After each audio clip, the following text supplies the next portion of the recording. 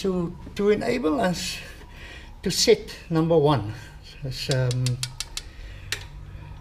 tappets, okay, or valve clearance we call it, we need to rock number four.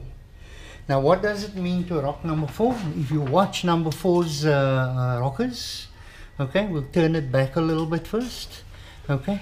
Okay, now you'll see the exhaust valve will go down, okay. As the exhaust valve goes down and it starts coming up, all right, as it reaches its uppermost point, you will see the intake valve starting to push down.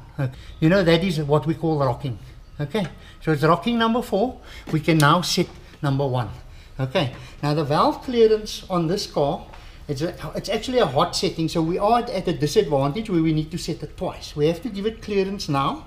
Um, the intake valve is uh, spec at uh, 0.20 of a millimeter, and the exhaust valve is spec at 0.30 of a millimeter. Okay.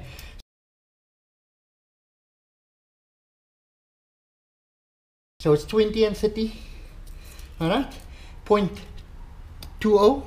Okay, so what I normally do is you can feel the feeler gauge is uh, pretty flexible on that one. It's a bit more taut on that one. So the exhaust valve normally takes the bigger, the greatest clearance. Okay, so we'll put the feeler gauge in and we will adjust it with a screwdriver and a locking spanner size uh, 12 okay so we will we'll basically adjust it like that. Okay you put your you put your screwdriver in you turn it very lightly up against till it can't go anymore don't force it. Okay just turn it until you feel it's it's it's just you know, going against that feeler gauge there. Okay, and then we will lock, we lock the, the, the, the locking nut. Okay, and that should keep our valve clearance where we need it to be. That's 30 or 0.30 of a millimeter. And then we'll go to the intake, we'll turn it around, we'll put the 0.2, 0.20 mil uh, feeler gauge in there. Okay, and then we'll turn down. And as I said, we'll turn it until we turn that uh, we turn the adjuster right up against the feeler gauge okay? You don't want to choke it.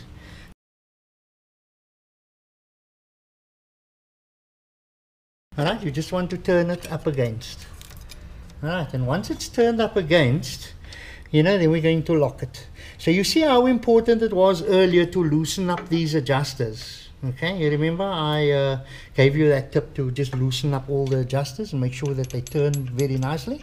And this is the reason why I, I insisted on that. Okay so we lock up that adjuster and we'll feel that number two um, uh, that 0.20 thickness feeler gauge it just it, it will just slide in okay?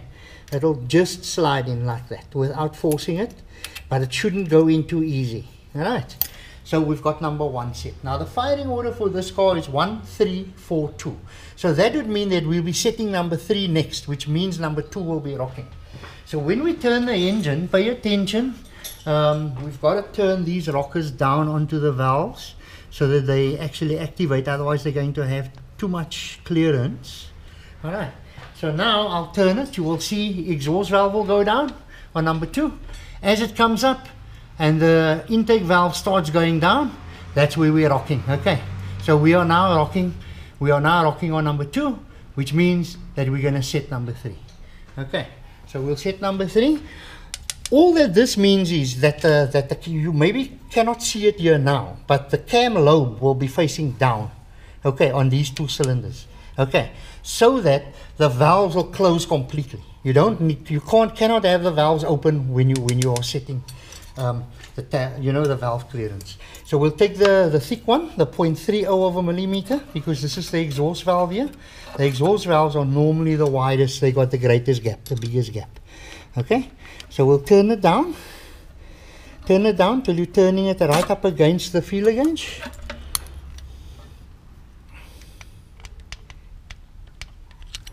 Turn it right up against the feeler gauge like that. You can feel that that is pretty tight. Okay. Um,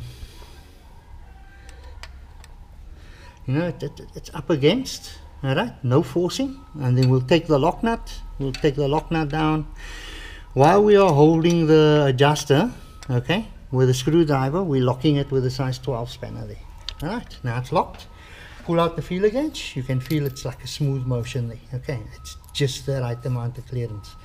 You can see when I when I when I I cannot move that rocker, but when I take out the the, the feeler gauge, you will hear. Okay, you will hear the play there. Okay, so that's 0.3 of a millimeter. If I put the 0.2 in here now, the 0.2 is going to be very loose. Okay, very loose. That's the 0.3 because that's the exhaust. It's the widest one. Okay. So we will go over to the intake. The intake is 0.2. We'll do exactly the same thing over there. We'll turn the adjuster down until it uh, basically, um, you know, till it, till it just goes up against the feeler gauge. And once it's up against the feeler gauge, we know that that's the proper clearance that we need. Okay. And you don't force it at all. You just turn it against. You know, I've got a lot of uh, oil. Give me a ray. I've got lots of oil on my hands. So, you know, it's losing grip of my tools, you know. So, yeah. Um, we'll just do that. Turn it loose. Backwards a little. Then you turn it against. You can see it's against. We take the lock nut all the way down.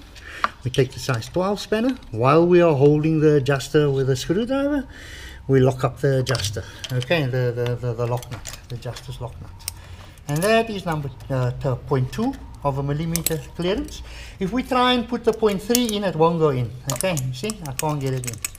Alright, but it will go in here because this gap is, is, is wider than the, than the, than the intake. Alright, so the next uh, in the sequence, uh, you know the firing order is 1, 3, 4, 2. So we're going to be setting, we've just set number 3. We're going to set number 4, which means that we're going to rock number 1. So if you see as I turn the engine, uh, the exhaust valve uh, opens and it starts closing. And as it reaches its top, the intake, the intake one will start opening. And that's what we call rocking. So it's rocking on number 1. So we will set number 4 okay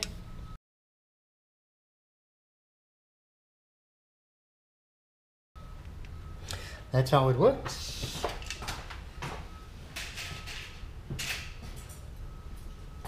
So remembering that uh, the exhaust is 0.3 of a millimeter. Okay this one's a bit tight so we need to loosen it up a little bit until we can get the feeler gauge in just just nicely. Okay in between uh, the valve and the rocker the valve tip and the rocker. And then we'll tighten it just against all right? Making sure that the feeler gauge can still move inside there just about. We'll take the locking uh, the locking nut. We'll hold the adjuster with a screwdriver. And uh, there we go. Okay that's 0.3 of a millimeter. Feeler gauge just going in. So we'll go over to the intake valve and we'll do exactly the same there. Okay you can actually see that there's lots of play on this one so she's pretty loose we'll turn it just up until she goes right up against and then we'll lock her up with a lock nut okay so that's two and that is three okay exhaust intake so now we will go to the last one which will be number two okay we got a set number two so that would mean that we're going to have to rock number three. Okay, so it goes very simply.